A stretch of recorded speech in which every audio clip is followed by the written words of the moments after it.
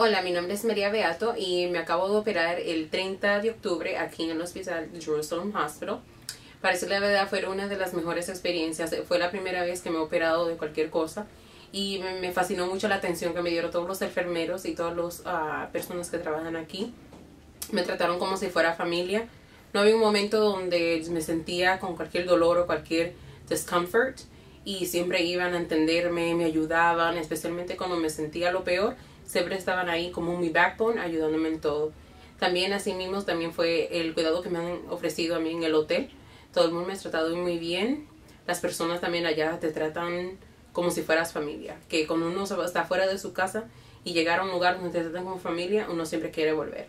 Y por eso le doy yo muchas gracias al hospital y al doctor y a todos los que me ayudaron, incluyendo a Javier, que nos ayudó mucho a mí y mi mamá a que esto haya sido un viaje maravilloso. Y por eso le doy las gracias. Gracias.